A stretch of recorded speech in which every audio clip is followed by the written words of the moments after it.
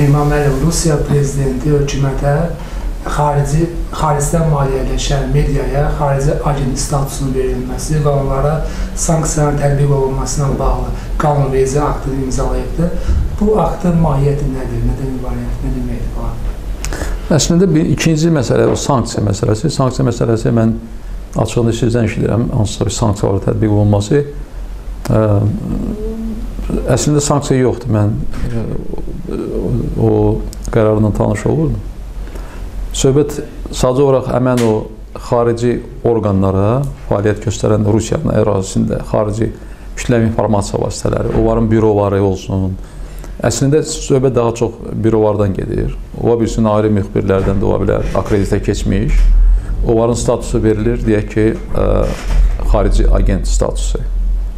Agent deyəndə bu agent o mənada deyil ki, bu hansısa casusdur və s. Söhbət ondan gedir ki, rezident yəni başqa ölkənin nümayəndəsi ya başqa ölkədən tərəfindən maliyyələşdirilən, maaş alan və s. insanlara, yəni bunlara deyirlər ki, xarici rezident, yəni xarici, xarici e, dövlətə ya qurumlara bağlı olan adam vardır. E, bu statusdur. Yəni bu sadəcə olaraq bir e, daha çox bəlkə mənəvi təsirdir, mənəvi təzyiqdir. O mənada yəni agent sözünün işlədilməsi əslində başqa bir şey deyil. Yəni Bəziləri hesab edir ki, nə bilim bunun arxası ilə sonra gəlir həmən o medianın sıxıntı sıxışdırılması, bağlanması və s. Yox, belə deyil. Məsələn, ondan öncə QT-lərlə bağlı belə qanun qəbul olmuşdu və heç nə baş vermədi. Əslində onlarda xarici agent o deməkdir ki, xaric xaricdən maliyyələşdirilən e, deməli qeyri-hökumət təşkilatı, yəni qurum, xaricdən maliyyə alan və özü özündə bu statusun tətbiq olunması onu göstərir ki, Rusiyada ə, deməli qeyri-hökumət təşkilatlarıdır. Media vardı, xaricdən açıq şəkildə maliyyələşdirilirlər. Azərbaycandan fərqli olaraq. Azərbaycanda məsələn deyək ki, xarici dövlətlər tərəfindən QT-lərin və mediaların maliyyələşdirilməsi qadağadır.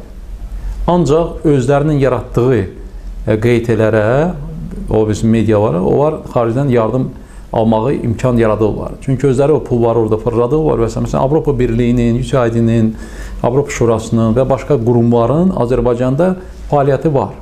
Deməli, e, layihələri var və o layihələrdə hakimiyyətin istədiyi e, qeytələr və medialar iştirak edir. O onu göstərir ki, ə, e, yəni dolayısı yolla hakimiyyət özü həmin o ə, xarici donorlardan qrantları alır və öz məqsədlərində yəni e, istifadə eləyir.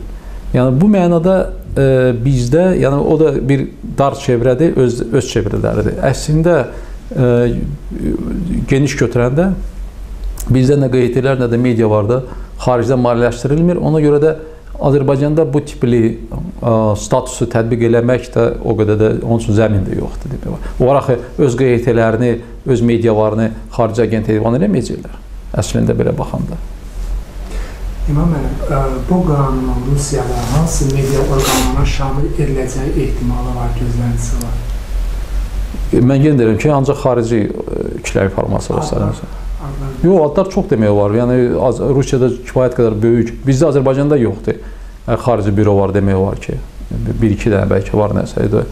Ayrı-ayrı jurnalistlər var. Deyək ki, Anadolu Agentliyi ilə bəlkə əməkdaşlıq edən ya Reuterslər bu da daha çox, yəni yenə deyirəm ki, fərqli fərdlərdir və çoxsuz Azərbaycan yerli e, e, demək olar ki, e, vətəndaşlardır.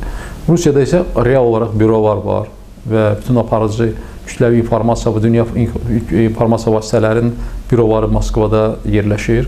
Onlar fəaliyyət göstərir. Yəni çoxdur, yəni mən yenə deyirəm ki, Associated Press-də var, France Press-də var, Reuters-də var, BBC-də var, Radio Svoboda-da var və başqaları və s. s. Xeyli natlar var, işləyirlər. Ona görə də mən yenə deyirəm ki, bu sadəcə olaraq bir addır, başqa bir şey deyil. Məhdudiyyət o mənada ki, belə məhdudiyyət də yox. Hakim Rusiya partiyası, Vahid Rusiya partiyası bir nümayəndəsi bildirib, deputatı bildirib ki, eyni məhdudiyyətlər, eyni qadağalar Amerika mənşəli restoranlara da şamil edilməsi üçün müəyyən dəyişikliklər. Mən yenə deyirəm ki, biz deyirik ki, qadağalar. Qadağa deyil, ad verməkdir. Sadəcə ad verilir ki, bu xarici agent. Yəni burada ruslarda daha çox agent sözü o formada işlənilir belə deyək ki, bu bu başqa dövlətə işləyir. bu Rusiyanın maraqlarına işləmir. Yəni bu satqın ola bilər. Əgər yerli vətəndaşdan gedirsə, az qala bunu artıq satqın kimi qəbul etmək.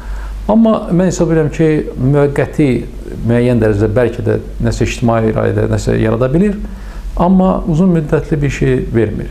Məsələn deyək ki, Rusiya QT-lərə qarşı bunu tətbiq eləyəndə hay-haray var idi, narazılıq var idi. Bu gün mən görürəm ki, belə bir narazılıq normaya çevrilib. Hətta mən e, e, Alekseyeva məşhur bir e, hüquq müdafiəçisi var, Alekseyeva. Onun da təşkilatı salmışdı agent və bunun onun xanımın deməli bu yaxında yubiley olmuşdu. Putin özü şəxsən onun evinə gəldi, onu təbrik elədi, həmin o agentin evinə. Yəni oyundur, oynayırlar da indi bu formada. Yəni ruslarda bizdən fərqli olaraq sərt şəkildə nəsə eləmək, bundan sonra bağlamaq, qapatmaq Ya bizimkilər isə görsən agent heyvan eləmirlər, elə birdən-birə götürürlər, ləğv elədilər, qutardı getdi. Saytda götürdük bağladıq. Heç agent heyvan eləmə. Qeytilər də hə dayandırdıq, bütün maliyyələşdirmə qutardı getdi.